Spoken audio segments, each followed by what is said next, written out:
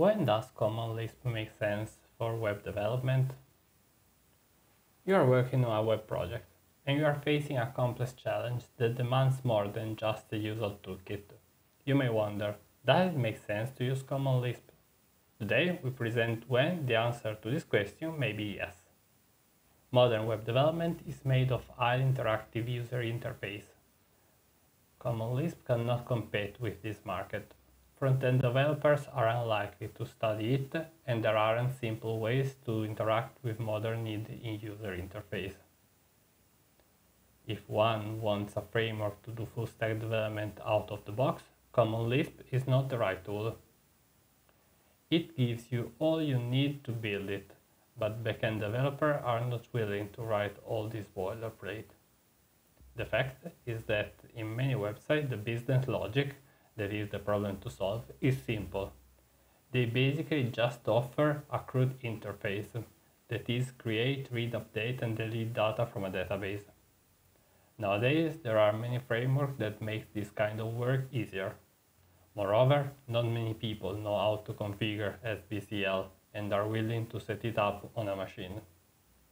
Nowadays, microservices is a word that is spoken by everyone. Defining a microservice is not straightforward. In simple terms, we could say that it is a web service which does just one thing. What constitutes this one thing varies greatly. Nevertheless, a microservice is responsible for either front-end or back-end, but not both.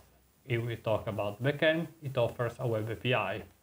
GraphQL, REST, gRPC, they are all good. One is just to choose the one he prefers. Thus, as soon as we meet a problem which makes sense on its own and the business logic is more extensive than just a CRUD on the DB, we can think about Common Lisp. We still have the problem of the deployment. How do we persuade someone to install SBCL? We don't have to. Microservices are usually shipped inside containers. A container puts together a piece of software and all its dependencies. Once a container has been created, whoever will use it doesn't care about its content, as long as it works. Inside there could be anything, even SBCL. A common requirement for container is to be quick to start and stop, such that the orchestrator can start or stop based on demand. Common Lisp can also ease this requirement using the fact that it is image based we can load all the symbols required by our piece of software and then dump the memory to disk. We create a common Lisp image. As soon as we want to start our piece of software, we have just to start SBCL and load the image. The most used container runtime is Docker. We can create a container as described previously using a multi-stage Docker image. We will see how to do it. So, we have a problem which involves complex symbolic manipulation, extensive data processing, and may benefit from Lisp's strong support for macros and dynamic typing. Or more easily, the business logic is not trivial. We choose the interface with the outside world. REST is a common choice. It's simple and widely known. We package everything in a container, nobody has to know there is Lisp inside. The users are only aware that they can start it quickly and query it using the HTTP protocol. We have already met the service that builds CL-WHO expression from HTML in a previous video.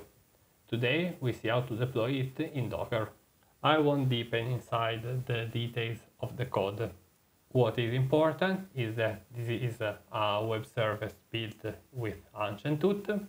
We define a variable server but we don't start it immediately. In the end, we have a function main which starts it. Moreover, it makes the main thread sleep. Otherwise, the program would be killed. Then let's start with the Docker image. We have a Docker file and we start from the SBCL Alpine image. We copy the content of the current directory inside root common Lisp. We chose this path because it is recognized by ASDF. We change the current working directory. This is an Alpine image, so it is really lightweight. we have to start by loading QuickLisp.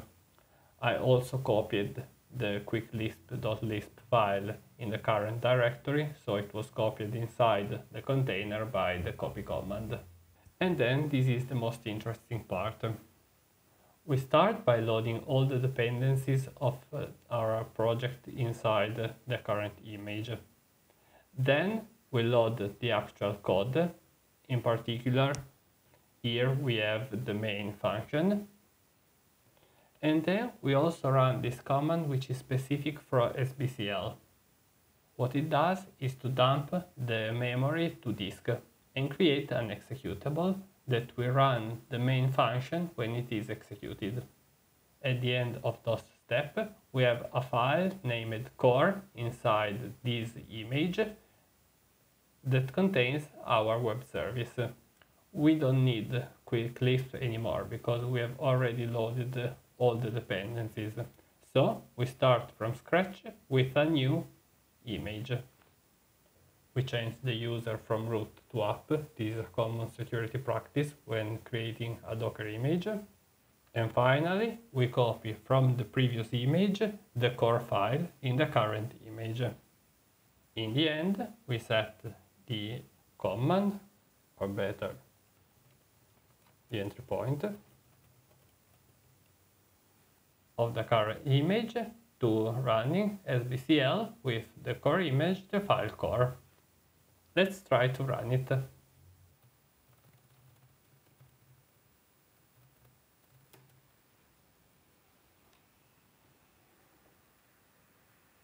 We have built the image and now we run it.